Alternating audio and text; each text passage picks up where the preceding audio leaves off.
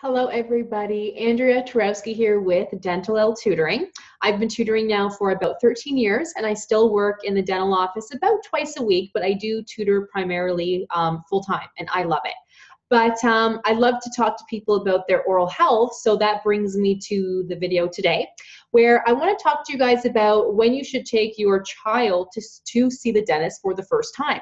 Now, you might hear a couple different things from different people, but some say that you should take your child in as soon as you see their first tooth, okay? So they're, they're, they're obviously going to be very, very young, right? So that might not be necessary per se, but a lot of parents feel that that's too early to bring their kids in, that they'll just sit there, you know, cry, they'll have a hard time. But it's totally up to you.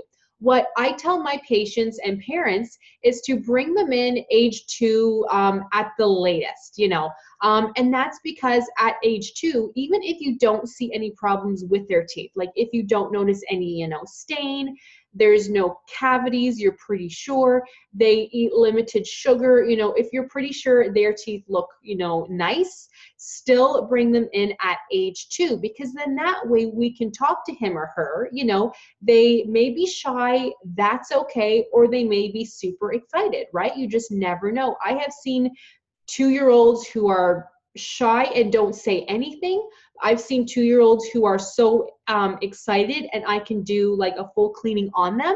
Um, or I've seen two year olds who sit there and don't open their mouths.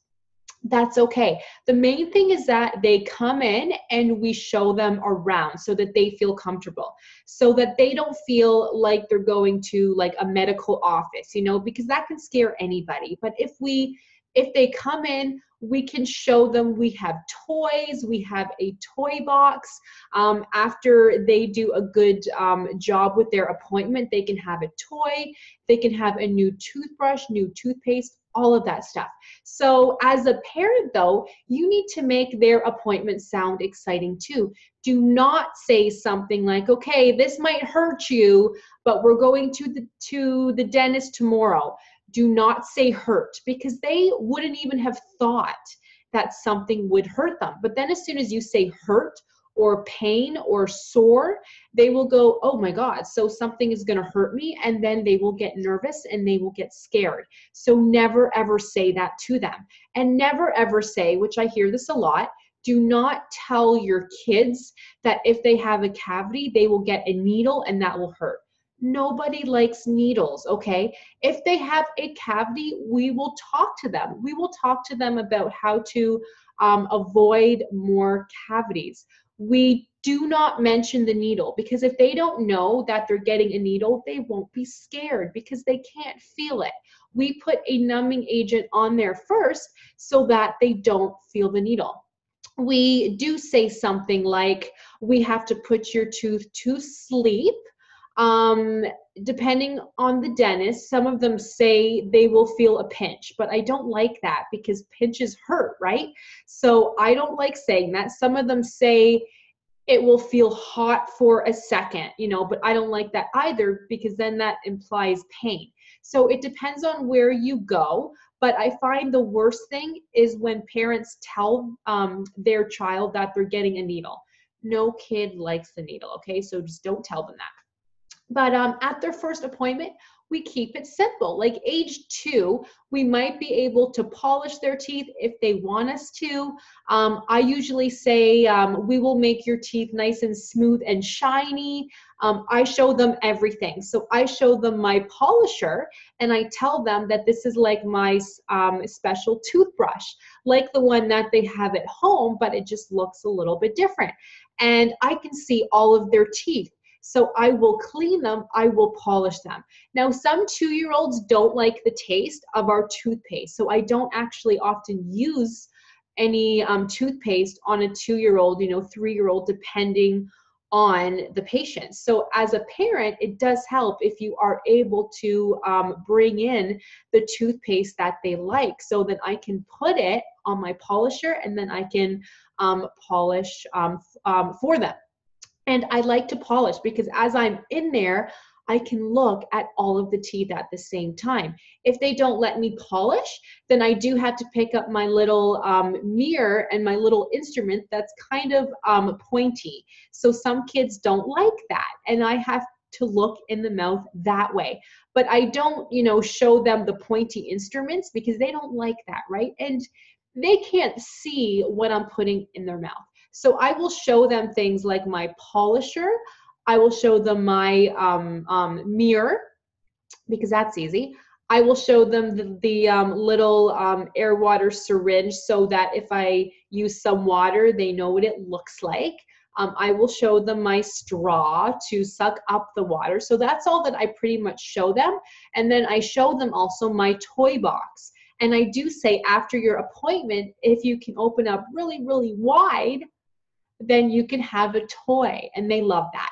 Um, so a lot of parents ask me, do you take x-rays at the first um, appointment? No, unless we see something that we don't like. Like if we look inside their mouth and and we can see um, obvious cavities or obvious holes in the teeth, we might take an um, take an X-ray just so we can see if there's any cavities in between the teeth because that we can't see and that's not something that we want to miss.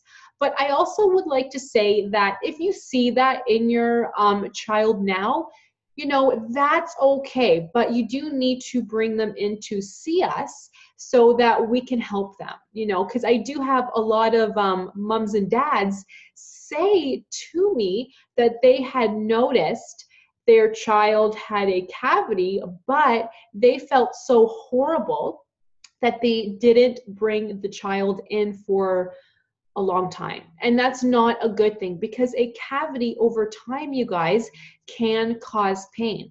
And children have a hard time telling you when they're in pain, okay? They actually do. They may be in pain over here, but they don't know that it's coming from their tooth. So they may be um, crying and saying that they're tired, but actually they have tooth pain they may be acting out for no reason, but actually they have tooth pain. So please bring them in. We totally understand. We don't go, oh my God, like this kid has so many cavities. This is horrible. No, because we understand kids get cavities. Okay, so bring them in so we can have a look. Um, we typically take x rays H6 if the child needs it. If they don't need it, we don't take them. Easy, right? Um, and even if you have a child now who may be over the age of two, you might be thinking, oh, shoot, like I haven't brought them in yet. Should I bring them in now? Yes, it's never too late. I saw a patient the other day where her son was 10 and he had never had his his um, teeth cleaned before. But I was just so happy that she was able to bring him in um, there was a lot of work that needed to be done, but I was just so happy that she brought him in so we can get started because we never want a child to be in pain.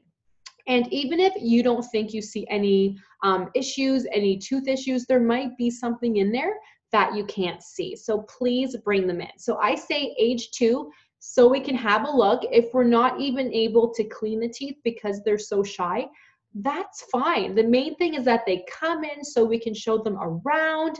We might be able to have a look inside the mouth if they if they actually cry because they're nervous or you know something, that's okay because when they cry, their mouth is open.